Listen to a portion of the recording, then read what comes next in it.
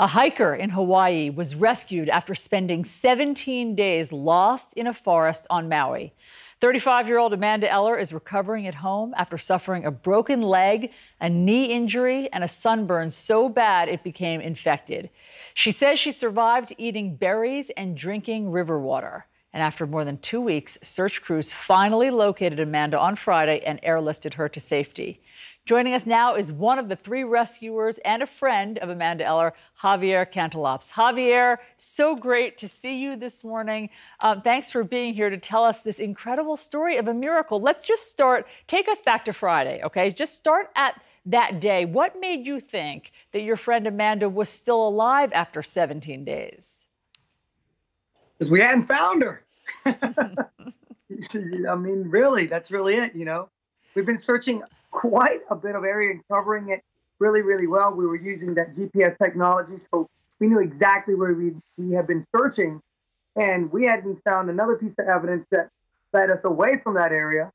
And we hadn't smelled anything strange. We hadn't found anything strange. And I was like, well, that only means that she's just still moving. That's why we haven't found her. Right. We just got to get farther. Tell us about the moment that you spotted her while you were in the helicopter. it was it was it was it was it was magic. It was it was elation. We're flying up, you know, we're going up this this uh this what we call a gulch coming up and there's a waterfall and there's a stream and it's it's pretty much we're going up and with the helicopters there's a waterfall. There's a waterfall. There's a stream. There's a waterfall. There's a stream and you know we're hanging off these Nordor helicopters and you know we we're having to turn around. We're at the end of this little search pattern because the helicopters only have a certain amount of gas so we were we pretty much had about five five to ten more minutes before we had to bounce out, and then we're gone back home. And as we're coming up one of the last waterfalls, we're coming up. We're we look. We can see Chris looking down, and I'm looking down as we're coming up the waterfall, and I can.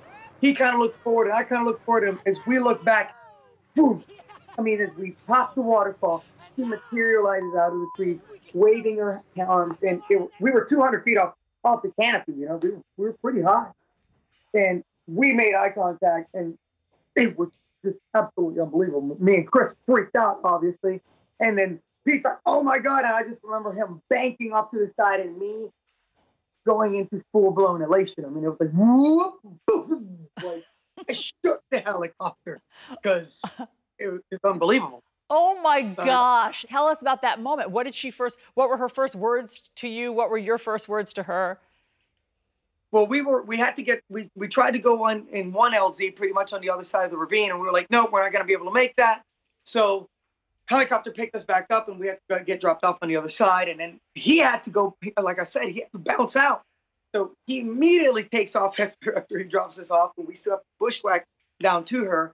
And I am just, we are just like charging at full heart soul speed, just crazy but at the same together, like we've got to make it still down this gulch. So as we're breaking brush all the way down in full blown jubilation, I couldn't help myself. I already called her dad because I was one trillion percent sure it was him.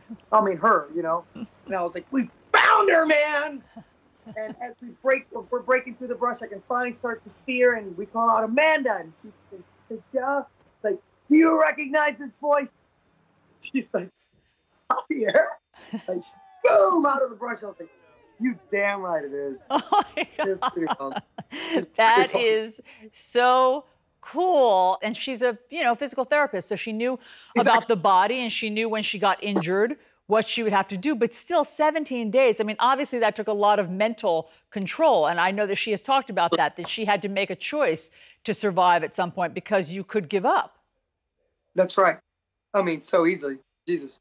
And After day 13, he's you know, it's a long yeah. time to be alone. It sure is. Um, and so 14, 15, holy crap. I mean, and she said that she had seen the helicopters before, but you all hadn't seen her. She had tried to signal to them. That's right.